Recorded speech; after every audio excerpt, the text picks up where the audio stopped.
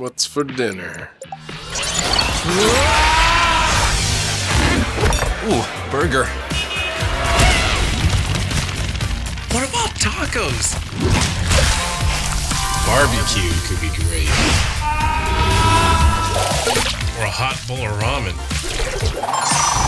Ooh, pizza.